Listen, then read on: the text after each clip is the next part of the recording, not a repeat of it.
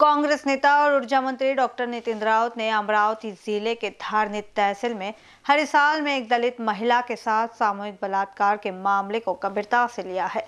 Police अधीक्षक को सख्त कार्रवाई के निर्देश दिए। साथ ही नितिन राउत ने कहा कि वह इस मुद्दे को कैबिनेट में पेश करेंगे। मेलाघाट के हरिसाल गाँव में एक महिला के साथ दो युवकों ने शराब के नशे में बलात्कार किया था। पुलिस ने इस मामले में अत्याचार का मामला दर्ज नहीं किया था। घटना के बाद पीड़िता लापता हो गई। हमें नहीं पता था कि पीड़िता दलित थी, क्योंकि वह लापता हो गई थी। इसलिए हमने अत्याचार दर्ज नहीं किया। फिर दो दिन पहले जब हमें पता चला कि महिला खंडवा में थी तो उसे अमरावती लाया गया। अत्याचार भी दर्ज किया गया। आरोपियों को पहले ही गिरफ़्तार किया जा चुका है। यह बात पुलिस अधीक्षक हरिबाला ने कही। महिला ने खंडवा जाकर पुनर्विवाह किया। उसकी एक बेटी है जो काम के लिए कल्याण गई है, पुलिस अधीक्षक ने कहा। राउत ने कहा, इस मामले को कैबिनेट बैठक में लिया जाएगा। मैंने एसपी को निर्देश दिया है कि मामले में किसी भी तरह के राजनीतिक दबाव के आगे न झुके और आरोपियों को कड़ी सजा दी जाए। बाइट, नितिन राउत। नाही जे देवेंद्र फडणवीसांचं डिजिटल विलेज म्हणून ओळखलं जातं ते हरिसार मेळघाट मधला ते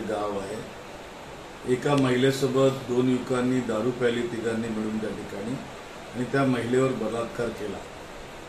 आणि ती दलित होती तिच्या त्या प्रकरणामध्ये पोलिसांनी अॅट्रॉसिटीचा गुन्हा दाखल केला नव्हता.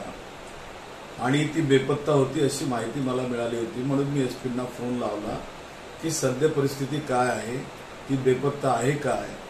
आणि अॅट्रॉसिटी कधी लावली? त्यावर पोलिसांनी एसपीनी मला जे उत्तर दिलं असं सांगितलं की आम्हाला माहितीसुद्धा नव्हतं आणि कुणीसुद्धा सांगितलं नव्हतं. की ती महिला दलित आहे म्हणून. ती महिला त्यानंतर खांडव्याला गेली आणि खांडव्याला तिने दुसरं लग्न केलं. तिला एक मुलगी आहे आणि ती मुलगी कल्याणमध्ये नोकरीला गेली. आणि ती दलित असल्या कारणाची माहिती आम्हाला मिळाली तर आम्ही अॅट्रॉसिटी ऍक्ट सुद्धा लावलं. त्या महिलाला पोलिसांनी आता आणलेलं आहे त्यांच्या पोलीस स्टेशनला.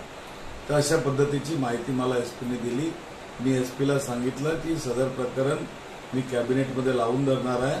यू बी अलर्ट आणि कोणत्याही प्रकारच्या राजकीय प्रेशरला तुम्ही बळी पडू नका. आणि याविषयी न्याय मिळवून द्या असं त्यांना मी सूचना केलेली